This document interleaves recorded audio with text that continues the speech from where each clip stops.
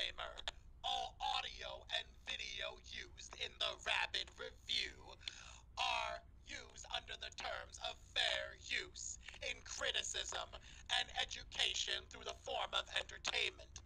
All audio and video used in the Rabid Review are copyrighted by their respective holders.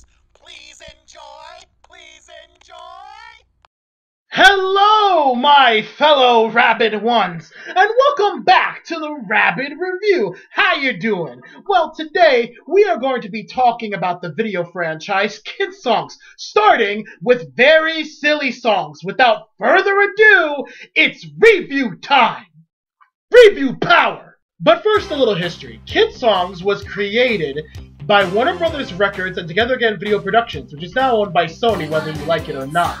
Very Silly Songs was the 12th installment in a long, long, long, long line of Kidsongs videos made from 1985 to 1997.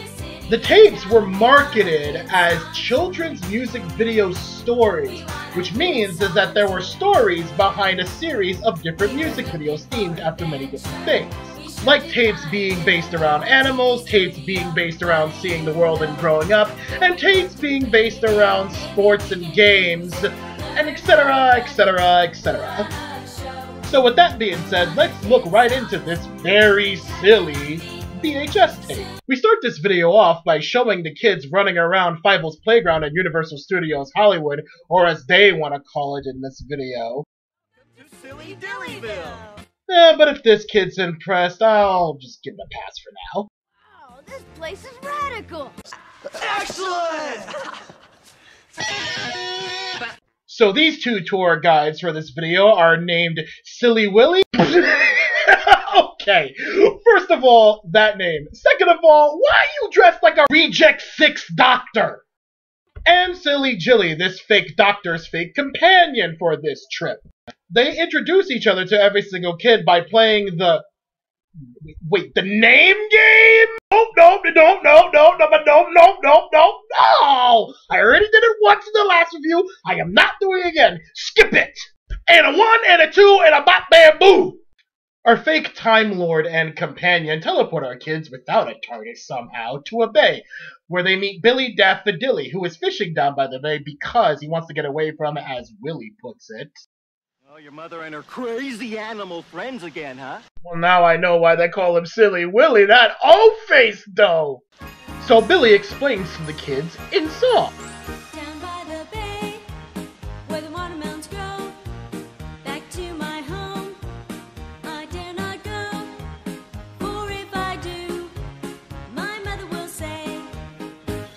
Did you ever see a baboon holding a balloon? Much the rest of the songs are the pretty much the exact same thing, you know. They come up with the same exact lyrics in the beginning, and then they have an animal rhyme, and it goes on and on and on. Like a whale with a polka dot tail, a pig wearing a wig, a goat standing in a boat, and llamas wearing pajamas. Bananas in pajamas are coming down. No llamas in pajamas, you fool! This ain't the early 90s in frickin' Australia! As they bid farewell to Billy Daffodilly, they are off to Amity Island, or as they call it here.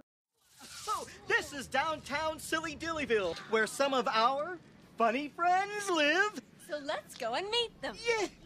What the, what the hell was that? Was that a yes or a sneeze? Yeah, yeah. Achoo! Gesundheit. Thank you. Anyway, that leads into our next song, A Rig a Jig Jig. Oh, rig-a-jig jig and away we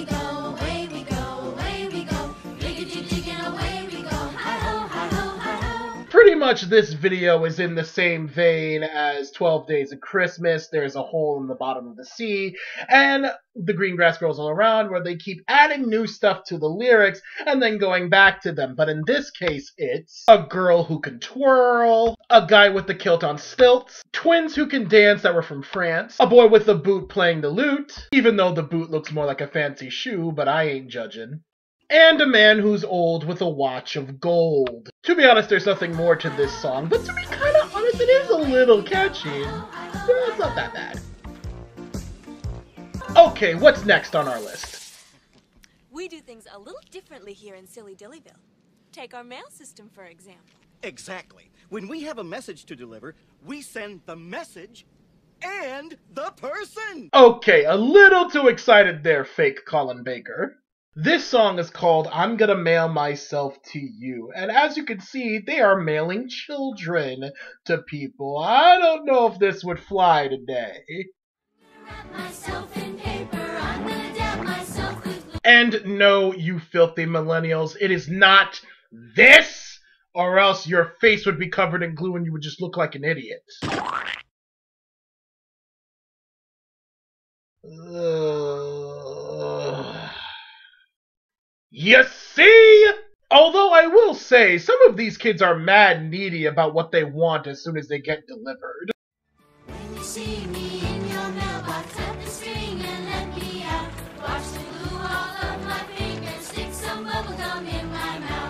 Although, if I was being delivered by a fake doctor and a fake companion, I would want some accommodations. Anywho, there's not much more to this particular song and video besides the weird imagery of people delivering children, and that's pretty much it. So we're just gonna jump right next to the next video.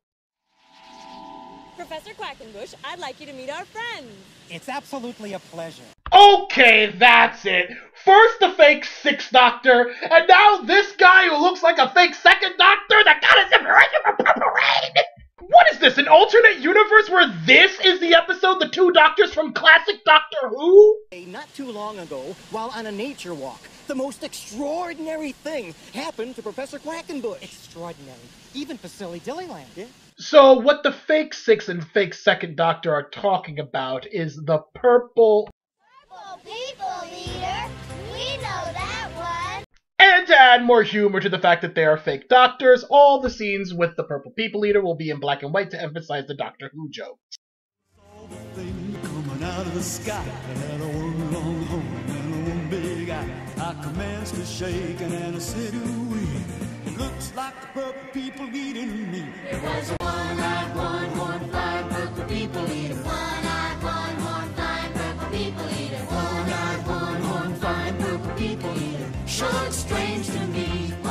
Pretty much this is based on the popular song of the same name, Purple People Eater, where a guy meets a Purple People Eater, he gets scared, the Purple People Eater doesn't want to eat him, and then he finds out that he wants to be a rock and roll star, and pretty much all there is to the songs. Although there is one lyric that really irked me when I was younger.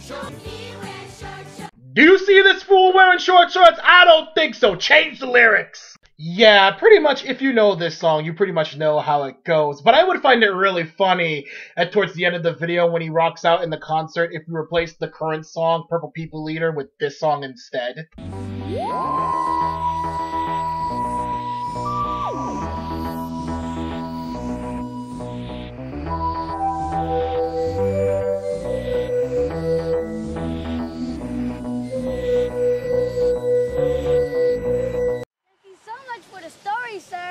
Know he's only a kid, but that line read was really lame. Although he will end up on a better show a year later. Now remember, the three uh, antimatter reactors have to be gotten, and of course the sub thing, you have to get the chest. Ready, set, go! JK, just kidding. And now back to the show.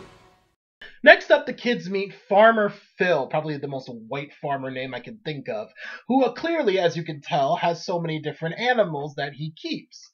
And he explains it in song on how he got all these animals, although this song is pretty much the same exact thing as a Rig a Jig Jig, where they keep adding new stuff to the lyrics and they go back to it over and over and over again. And I don't want to deal with it again, so let's just skip it. And a one and a two and a pop and boo! What's that? Oh, that, uh, that's a box. Well, we can see that. Well, it's a very troublesome box. You don't want to mess with it. This is actually my favorite song from this video. It's called The Thing, and it was a song that was originally made famous by Phil Harris, who voiced Baloo in The Jungle Book. Fun fact for those. The song is pretty much about this thing that lives in a box that this guy finds, and it's a thing that nobody can get rid of because everybody hates it down the beach one bright and sunny day. I saw a great big wooden box floating in the bay.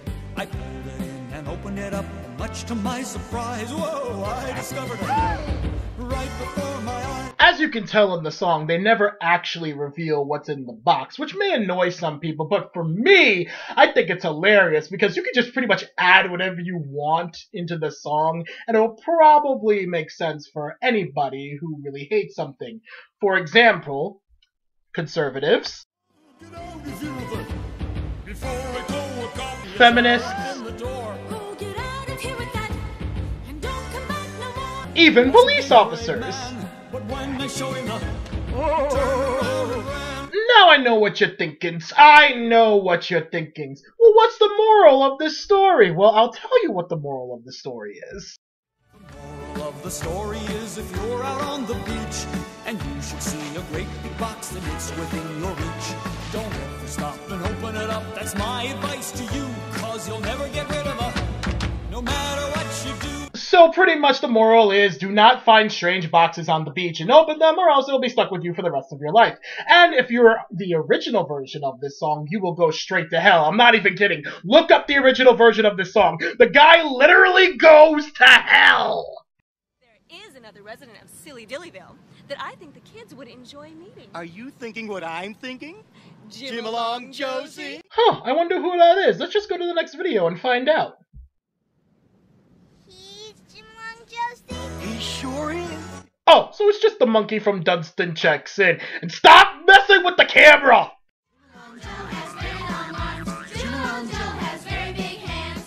Again with the camera, Dunston! Yeah, so pretty much this song insists of them being like, you know, do something Jim Along Josie, and Jim Along Joe does it, and it goes on and on and on, and there's really not much more to this song besides seeing Dunston do cutesy things. So I'm just gonna jump right into the next video because this is boring. Well, I don't see him. Me either. But I'm sure he'll be wandering by here soon. This song is called Michael Finnegan, and you've probably heard of it before if you listen to it carefully. There was an old man named Michael Finnegan. He had whiskers on his chin again. The wind blew them off and blew them on again. Poor old Michael Finnegan begin again. Pretty much the song talks about this guy named Michael Finnegan, which pretty much bad things keep happening to him over and over again, and they sing about it. I don't know, I feel like they're kind of invading this guy's privacy right now. Man, you better not be spreading that shit that being fat is bad, and besides, it's now horizontally challenged, bitch! Pretty much by the end of this song, the guy shows up and they pretty much say how he tries to sing the song and he sings terribly, and that's pretty much the end of the song. So I'm just gonna jump right to the end so we can finish this sucker already. And one, and a two, and a bop, bam, woo! All day long, you've been meeting silly people and silly animals and singing silly songs. Well, now it's your turn to be silly. Our turn? What do we have to do? Dance! Alright, explain yourself, bruh. I have my own dance and it's named after me, and I'll teach it to you. You know, one, two, three. It's called the Silly Willy. If you follow along, you'll be doing it before very long. Okay, I really hope this song isn't a rap, and you're taking off your clothes too. I don't want to get demonetized and questioned by YouTube, so explain the song before I get into trouble.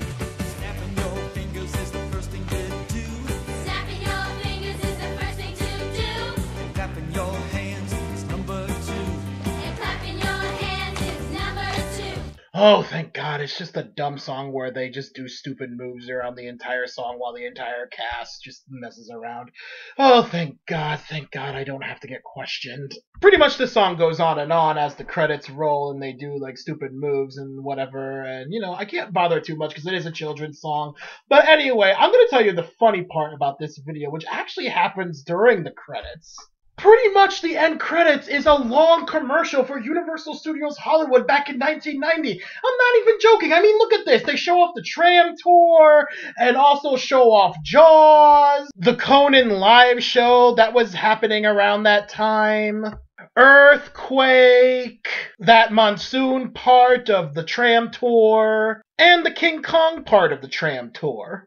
Now, here's an interesting fact to close on today. The director of this videotape, and all the other Kidsongs tapes for that matter, is named Bruce Gowers, who also directed very famous music videos from such singers as Queen, The Rolling Stones, The Bee Gees, Elton John, Alice Cooper, and flippin' Michael Jackson? Man, this guy's been around. And he also directed episodes of Whose Line Is It Anyway? and American Idol, and also directed a bunch of award shows for MTV and Nickelodeon. But the most obscure fact that I'm going to talk about is that he also directed a few episodes of Roundhouse, which is actually one of my personal favorite 90s Nickelodeon shows from back in the day. Fight me. Well, that's all the time I have for this video today, because this video has been a pretty long video. So all I'm going to say is, stay rabid, and don't forget to say your prayers and eat your vitamins.